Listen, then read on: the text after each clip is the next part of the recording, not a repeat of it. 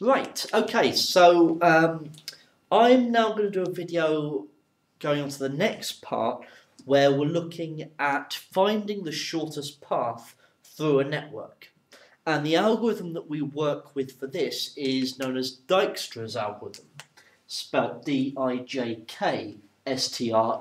okay? So Dijkstra's algorithm finds us a way of finding the shortest route from A to B. It could be on a map, um, it would be the same kind of algorithm or one that would be similarly used um, as part of GPS. Okay, so it does have uses in real world applications. Now, the route that I'm going to be trying to follow is going from A to D. The labelling procedure for this differs depending on exam board. And um, for this example, for AQA, um, in that case, it has a specific way that it wants you to write down what you're doing on the exam paper. Okay, so you need to follow this quite carefully and make sure you know how to do it. So, if we're going to start at A and we're going to try and get to D, then we start by writing 0 and boxing it at A.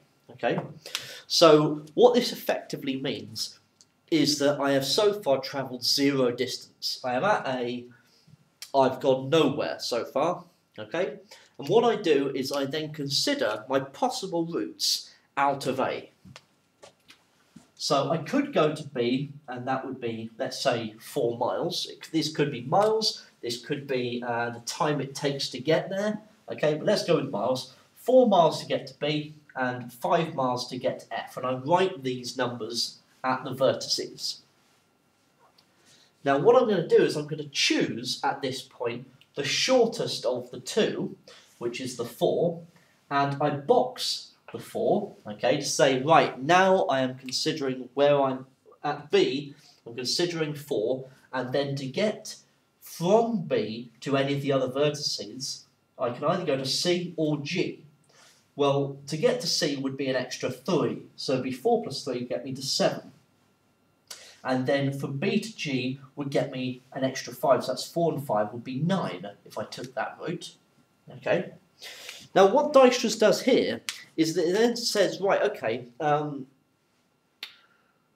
that's all very well, that I found this route from A to B and then to G or C, but I need to keep on considering the other possible routes as well, because A to F, this may yet still be part of the quickest route.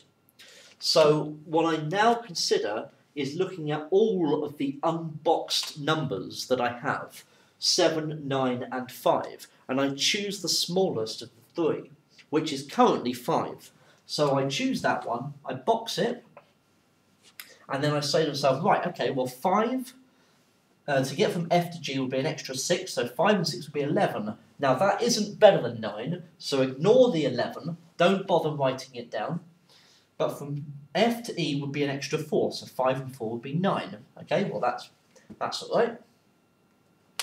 Okay, then I'm saying to myself, right, okay, well, now I'm looking at the shortest one of each of these, the unboxed vertices, because I've exhausted all my routes out of F.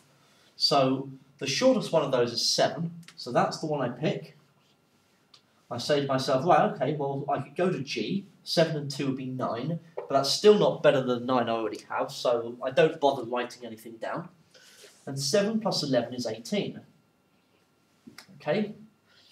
Then I say to myself, right, well, here I have two nines and an 18. Now I could pick either one that I like, okay? So I could pick this one, for example. So I'm going to pick this one.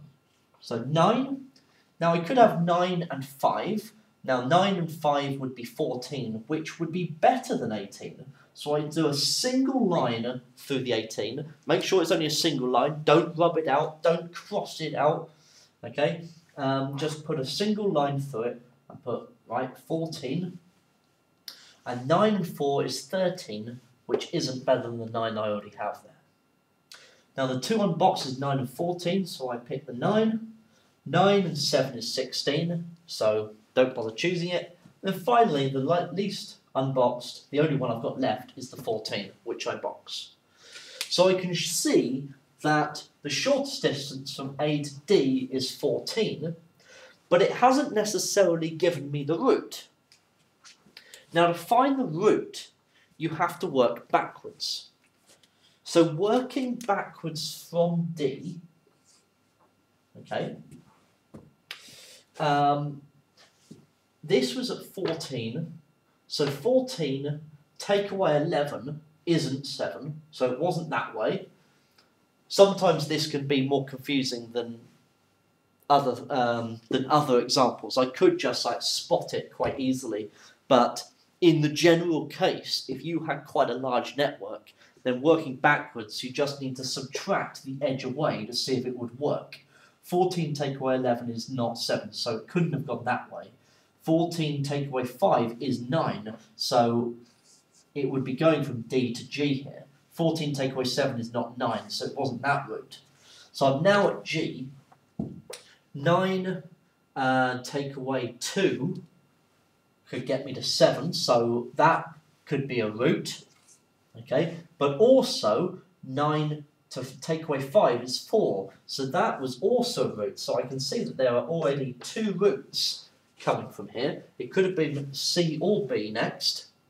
9 take away 6 is 3, that's not 5, and 9 take away 4 is 5, not 9.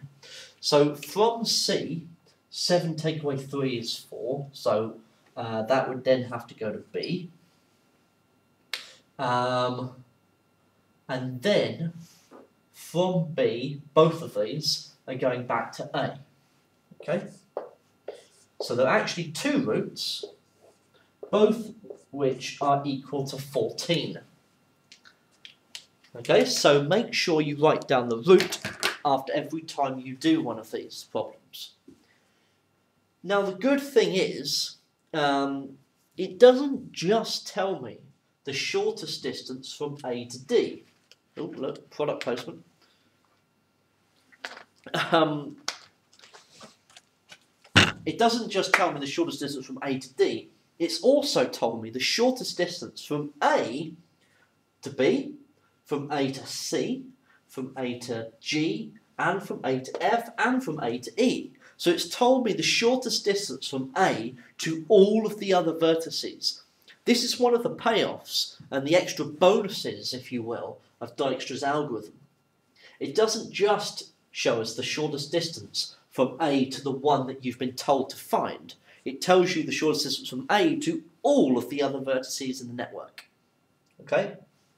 So I'm going to go through a few more examples of these in uh, the next few videos, um, just so you can get used to uh, the different situations that you can come across. But this is can be done quite quickly once you've had that practice.